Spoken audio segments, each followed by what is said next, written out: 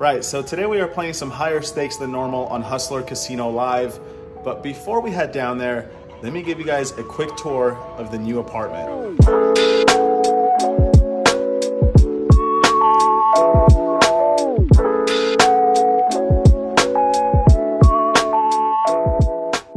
Right, so I just moved into Anaheim.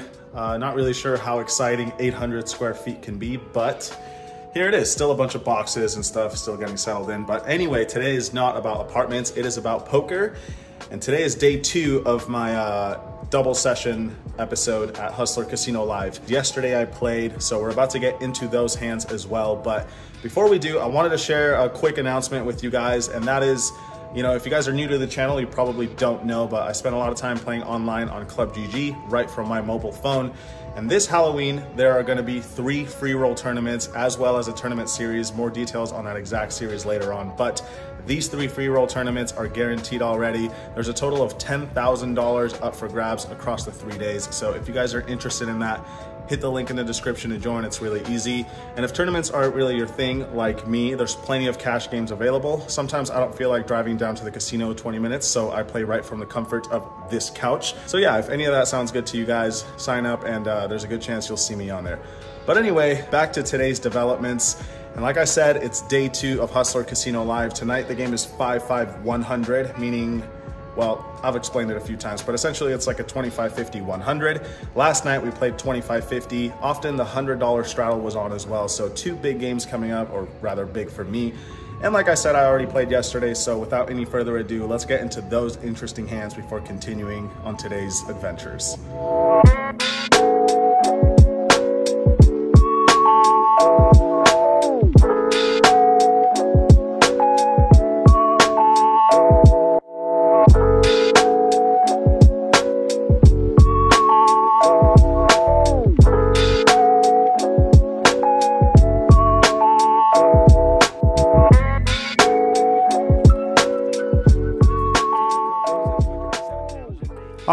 Guys, here we are underway at Hustler Casino once again. This time we're playing 2550. The $100 straddle will often be on, but not for this first hand. I sit down with $50,000 to start, and early on, look down at Ace King.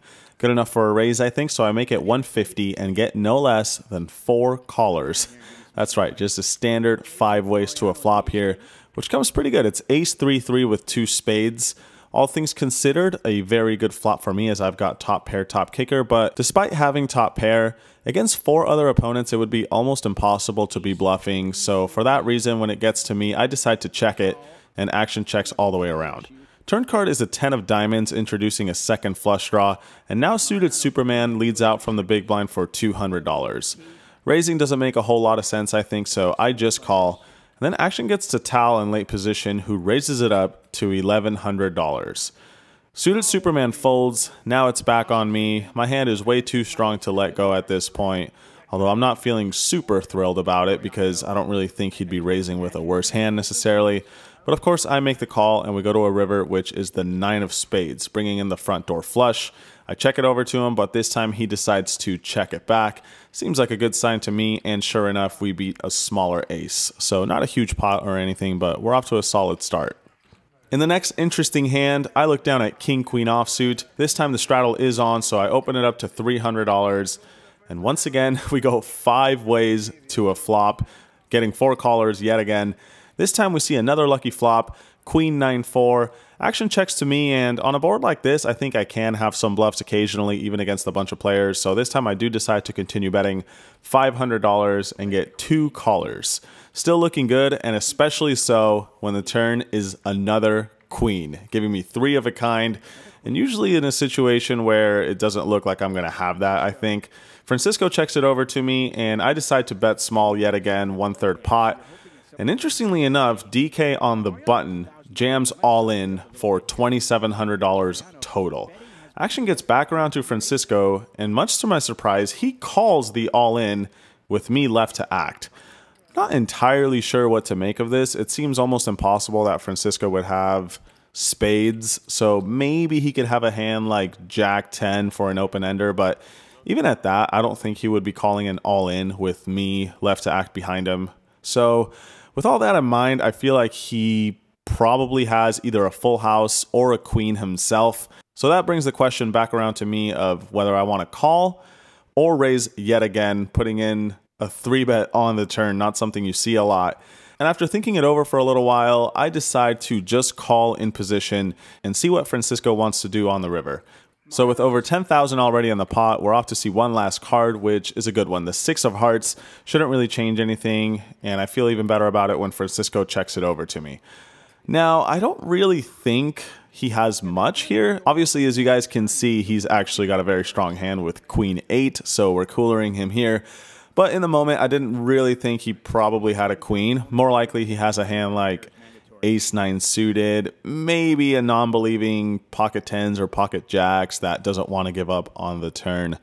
So, with all those holdings in mind, I think betting big wouldn't make a lot of sense. That's also true because this is a dry side pot, so you don't really see a lot of big bets into dry side pots on the river. After thinking all that over, I decided to go for a pretty small bet of $2,400, which of course Francisco snap calls. Yet again, I didn't know he had such a strong hand. If I did, I would have bet a lot bigger, but we take another one down and things are off to a good start.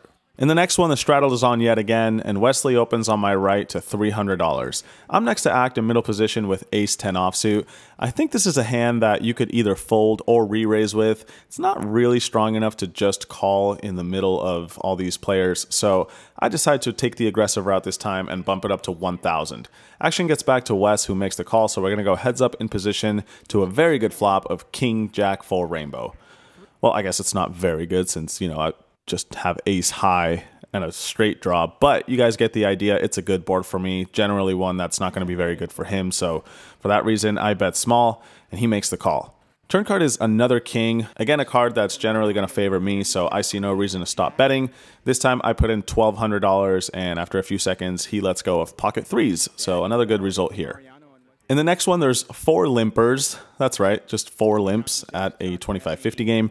And it gets to me in the big blind with queen nine offsuit, no reason to raise it up, so I check my option and we go five ways to a flop, which comes nine high. I decide to lead out here, not something I would do every single time on a board like this with top pair, but this time I do, $150, and only DK makes the call on my left. So we're to go heads up to a turn, which is the king of clubs. I think this is pretty much a blank. We can continue to get value from worse hands and draws, you know, stuff like that. So I put in another bet, this time $500, and once again, DK makes the call. River is the queen of spades, and now we have a decision between betting or checking. Sure, you can make a case for betting because, you know, we've got two pair, so that's a good hand. You usually put money in with that. But when you think about it a little more deeply, one of the main draws is Jack 10, and that gets there. And everything else, I guess, misses. Hands like 6 7, or really any 7, or perhaps a hand that turns clubs like I don't know, six four of clubs, you know, hands of that nature. So I think there's more value in actually checking and letting him bluff with all those missed draws. That's what I do this time. And a little to my surprise, he does bet 1600, which of course I call right away and we end up winning. But he had a pretty decent hand to just check back and get to showdown with ace eight offsuit. I guess you could make a case for bluffing with that one, but uh, yeah, happy to take this one down as well. And that brings us to the last hand of this particular stream where I've got 10-7 suited. In this one, I'm in the $100 straddle. Suited Superman limps in from the small blind and I decide to kick it up to 400. He makes the call and we go to a flop of Queen Queen 9 with one spade. Decent board to continue betting, I think, so that's what I do, and he makes the call. We get some help on the turn as the Eight of Spades arrives, giving me an open-ended straight draw as well as a flush draw. Plus, I could represent some strong hands as well, so I decide to continue betting, this time $500, and we get the job done yet again against pocket threes. So that was the last relatively interesting hand of this session. As you guys could see, things went pretty well for me, but I didn't win any huge pots. I also lost a few very small pots, but you know, those add up. Anyway, those were all the interesting hands from this stream. Let's move on to day two. Right, so as you guys saw, a whole lot of nothing for me really. It wasn't the most eventful stream I've ever had. I was mostly card dead and uh, the few hands I did play didn't turn out to be anything crazy, but I think today might be a little bit different. Hopefully we don't get into uh, too many tough situations. But yeah, I'm actually running a few minutes behind, so time to turn off the AC, turn off the lights, you know, you gotta save on bills, and drive down to Hustler Casino. Let's go.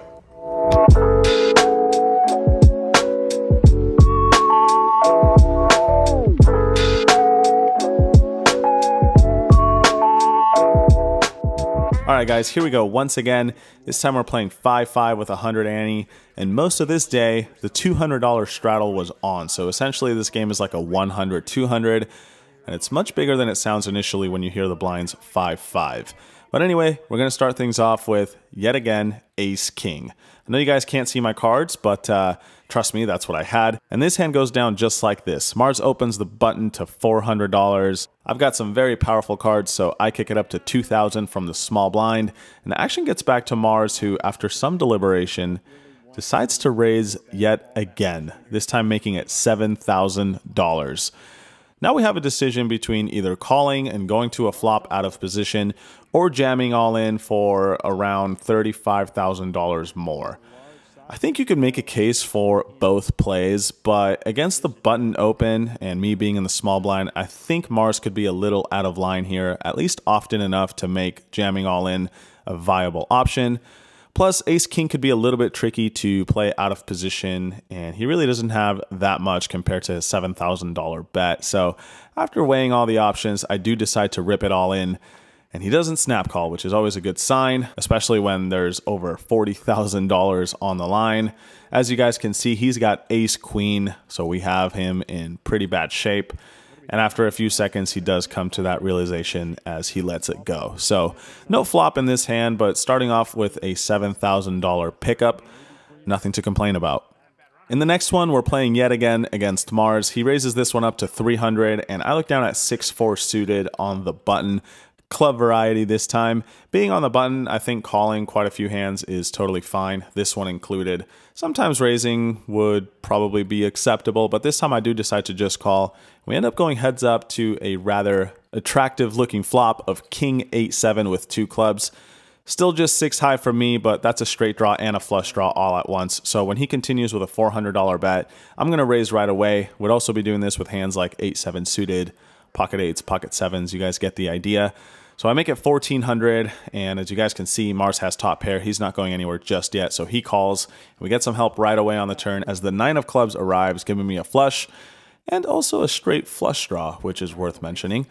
Anyway, this time he checks it over to me, and I'm going to continue getting some value since, you know, flush is a pretty good hand. This time I put in $2,100, and yet again, Mars makes the call. So situation is looking pretty good until the deuce of clubs comes on the river, meaning any hands like ace king, pocket aces, king queen, king jack that contain a club are now beating me. He checks it over to me, and of course, you're probably thinking, just check it back. We've got six high flush on a four club board. It's not very valuable, but to that, I would argue there's a lot of hands he has that don't contain a club, especially when I can account for two of them, and you know, there's four of them out there. And betting a small flush on a four flush board, I think is okay against certain players who are capable of talking themselves into a call. And I do think Mars could potentially be one of those guys. If he has a hand like pocket kings or two pair, he might just get married to the hand. He could also sometimes have a straight which doesn't want to fold. And plus, I would be bluffing with quite a few hands. So, sure, you can make a case for checking back, which I would not hate at all, but I do decide to go for some thin value here with a half pot sized bet. As you guys can see in this particular instance, I kind of look like an idiot as Mars does end up calling with the Queen of Clubs, so things don't work out for me. But often enough, albeit not very often, I think we're getting value from some worse hands, so I don't necessarily hate it. But we end up losing this one after a somewhat unlucky river card. And with that, we move to this next hand where I've got ace 10 I know you guys can't see it yet again, but I've got the ace of diamonds and the 10 of spades. Raise it up to 200 and get called by just Mike X on my left. We go to a flop of 987 with two diamonds. Pretty good board. I've got an open-ended straight draw, two overcards, and I could represent a flush if it does arrive since I've got the ace of diamonds. With all that in mind, I continue with a $200 bet, and Mike makes the call.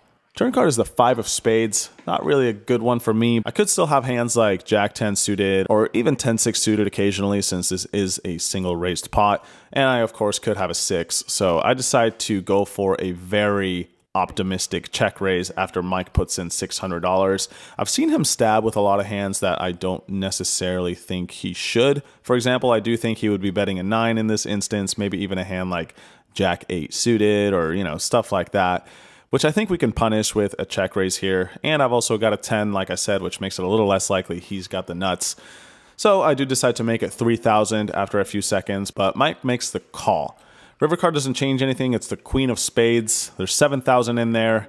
And now it's time to go for glory or just play it safe and give up. We don't necessarily have the best bluffing candidate with a diamond in our hand and just a naked 10.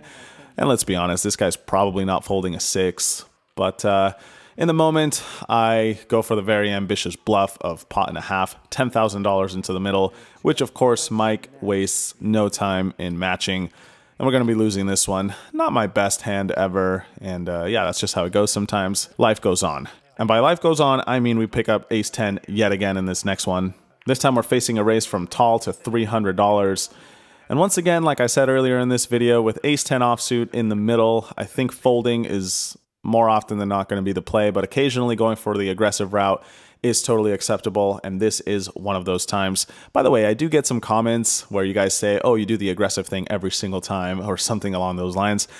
It might seem that way because those are the hands I include, but trust me, there's times where I'm folding these hands and, of course, not including it in the vlog because that's not very interesting. But anyway, with that out of the way, I do raise it up this time to $1,000. When action gets back to Tal, he makes the call. So we're going to go heads up to a flop of Queen 5 3 with two clubs.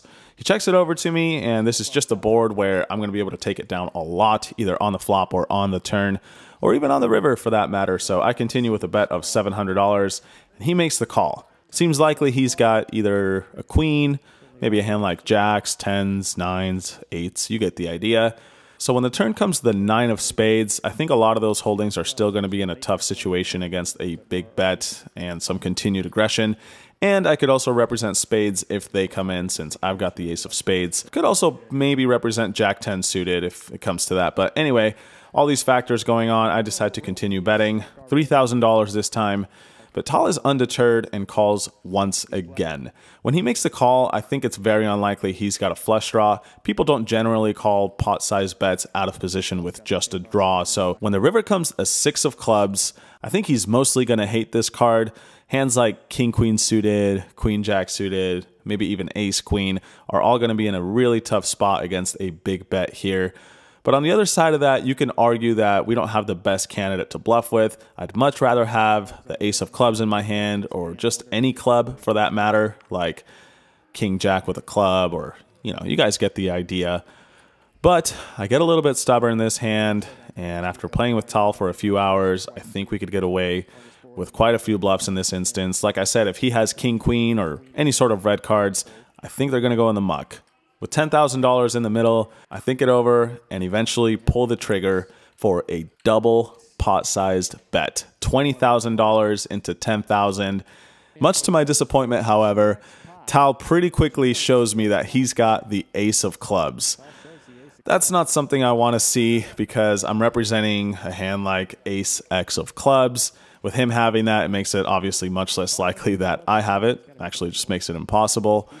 But I guess you could argue that he's also removing the card that I would be bluffing with. So maybe he's going to talk himself into me not having a flush, maybe having a hand like kings, or maybe a small flush, for example. But after a few painful minutes, Tal does eventually make the call with ace queen, ace of clubs. And if I'm being honest, he's got the perfect hand to call with. It's unfortunate that he has that exact combination of ace queen. I feel like against any red variety of that holding, we would have got away with it, but not this time, and the ambitious route does not work out. We're going to lose a big one here. In this one, there's a couple of limps for $5 before yours truly looks down at queen 3 suited on the button.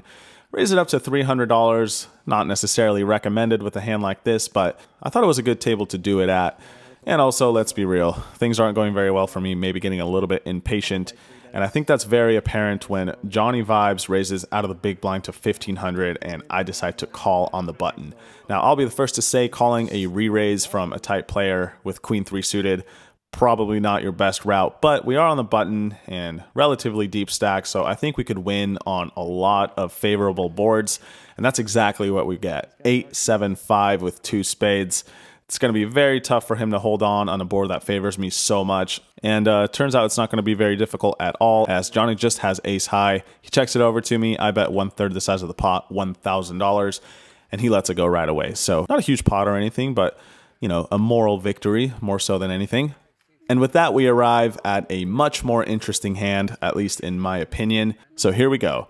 In this one, the $200 straddle is on. Mars opens to $600, and I look down at 6-5 suited next to act. Once again, a hand that I think plays a little bit better as a re-raise. Calling is probably okay on the button or in the big blind, straddle perhaps, but in middle position where I can get squeezed from someone behind me, I'd rather just raise myself. So that's what I do, making it 2200 to go. And action folds all the way back around to Mars, who after some thinking decides to call. Heads up in position to a good flop of ace 10-7 with two diamonds. Mars checks it over to me and I've got a flush draw on an ace high board which is usually going to be good for me since I raised before the flop. So for all those reasons, I see no reason not to bet. This time I put in $1,400 and get check raised to 6,000. Getting a little bit sick of it at this point. Seems like nothing is going my way in this session, but trying to just shake all those emotions and play as well as I can. And that's the case in this hand. So I quickly just gathered myself back together and realized that most logical play here is to just call and see what happens. Turn card is the king of clubs. As you guys can see, Mars has a total stronghold on this hand with aces up and the nut flush draw. But even despite that, he decides to slow down and check it over to me after check raising the flop. Now, with action back on me, I think pretty much all my hands want to continue with a small bet. This board is just so good for me, and I would be doing that with bluffs as well like I am this time. So after some calculating, I put in $5,500, right around one third of the size of the pot. And luckily this time Mars does not check raise, which would have sucked a second time, but instead just calls. We're looking for some help here on the river, and what do you know? It does not arrive. It's the king of spades. I wouldn't call it a total brick because I could definitely have hands like king X of diamonds, uh, king queen, you guys get the idea. King Jack suited. So all things considered, I think it's a good card for me. You could make the argument that Mars also has those hands as a possibility. And I think he does, but I definitely could have those hands as well. Let's face it, I've got six high and I'm not going to check it back. Mars checks it over to me, and with all my strong hands, such as ace king, pocket kings, pocket tens, queen jack suited, Trip Kings. You guys get the idea. I would be betting around the size of the pot. So with a bluff, it's time to do the same thing. I count out $28,000 and throw it over the line, and we don't get snap called. Always a sight to see, but we're definitely not out of the woods yet. Perhaps this is going to be another big pot that we lose. It's time to wait and see what happens.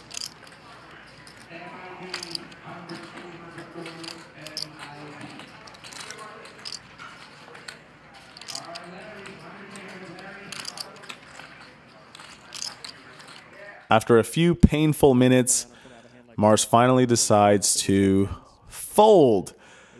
Whew, finally, we get one through. Today is going a lot more rough than the day before. Seems like we don't ever really have a hand having to work for every single pot. Luckily, this one works out. And with that, we move to yet another interesting hand. I open it up to $500 with ace deuce of diamonds. Johnny Vibes re-raises on my left to 1700 not a very big size considering how deep we are, so with a suited ace, when it gets back to me, I decide to call. Wouldn't really hate folding this hand either, but this time we do see a flop, which comes queen 8-4 with two diamonds. I check it over to him, and he bets $2,000. think he's going to be doing this with a lot of air balls, so check raising definitely has merit, and could balance that out with hands like pocket eights, pocket fours, maybe the occasional pocket queens, and even ace queen against such a small size. So I do kick it up to $10,000. And not very surprisingly, Johnny makes the call. He does tend to play some pretty good cards most of the time, so I'm not surprised he continues. Turn card is okay, it gives me a little bit more help. It's the deuce of hearts. Now that we turn a pair, I think there's some merit to continue into bluff, but I decide to check it, just like I would with all those aforementioned hands. Johnny does not have that idea in mind though, but instead bets $20,000. This was a little bit unexpected. I figured he would mostly check or bet small, so betting pot size is something I wasn't really anticipating and something I'm definitely not happy to see. But it does open up the door to a pretty rare but cool play that you can pull off once in a blue moon, and that is the double check raise. Unfortunately for me though, Johnny's got only $33,000 behind, So after putting in over half his stack, I don't think there's much expectation that he'll fold. So with that in mind, we can either call and try to improve to trips, perhaps aces up, or obviously a flush, or just let it go since we're not getting very good odds after he bets $20,000. But even if he bets big, we do have some implied odds if we improve, assuming he does call a bet on the river or tries to go for some thin value. So, like I said, it's a close spot, but after a few seconds, I do decide to call, and we do get some help finally on this stream. The five of diamonds, giving me the nuts, the best possible hand, not something I've said all day long. And now we have a question between leading out or checking it over to him. Against some players who I think would go for some thin value with maybe a hand like aces with the ace of diamonds, ace queen with the ace of diamonds, kings with the diamond. You guys get the idea. I would check it over to them, but Johnny, I don't think will necessarily do that. So instead, I decide to lead out for a very small size of $23,000. Could also be doing this with hands like 8 9 suited, maybe some missed heart draws, maybe a hand like 6 7 of hearts. You guys get the idea. But my small size does reflect that I won't be bluffing super often. As you guys can see, Johnny's got ace queen of spades. Now it's a very miserable spot for him. But after thinking it over for a while, he does eventually come to the right conclusion and let it go. So we don't get the little extra value on the river that we wanted. Well played by him, but either way, I'm happy to finally win a big pot. So with things finally heading back towards the right direction, only stuck a little bit now, and this hand comes up where I open 9-7 offsuit in late position.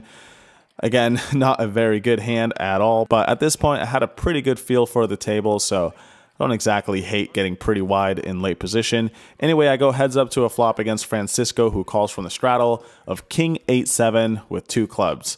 I've got bottom pair, as well as some potential backdoor possibilities to either improve or represent strength on certain runouts. So with that in mind, I continue with a small bet, and Francisco calls. We get some help right away on the turn as the nine of diamonds appears, giving me two pair on a board that I'd often continue bluffing on. So when he checks it over to me, I see no reason to go for some value, make it $1,500 to go. And we get some bad news as Francisco check raises to 5,500. Another disappointing situation now. Just when things seem like they were going better, I feel like we're getting coolered a little bit here. He could have easily improved with hands like 6 5 or maybe even Jack 10 that calls with a gut shot on the flop. And of course, sets, better two pairs, etc.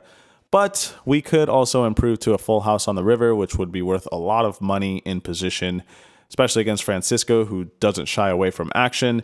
And if a club comes, we could also represent that since, you know, it's pretty unlikely he's got clubs after check raising the turn. So anyway, I do decide to call in position and what do you know? We get no help on the river. Not even a card that we can attempt to bluff on. It's the three of hearts. This time Francisco bets some amount. I think it was in the neighborhood of $16,000 and I release right away. As you guys can see, we did get a little bit unlucky having two pair against a better two pair, but nice hand Francisco. Not many nicer people. I'd rather lose a pot to. But yeah, that brings an end to this particular stream.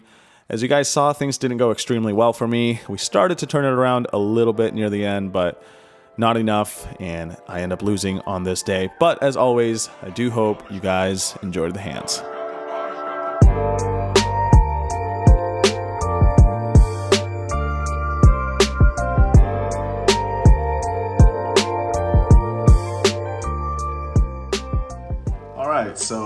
Back in the apartment, it's the next day. I was gonna film an outro last night, but I was pretty tired and uh, we ended up playing a good amount of time after the stream ended, so ended up just crashing here at the house.